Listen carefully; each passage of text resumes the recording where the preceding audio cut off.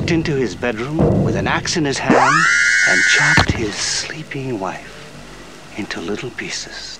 Then, with his bloodlust awakened, he walked down the hall to his son's room and took an axe to him, and he still wasn't finished. He walked across the hall to his daughter's room, and without so much as a word, he chopped her into little pieces too. Then he calmly walked into the tavern, lifted the bloody axe onto the bar, and ordered himself a beer.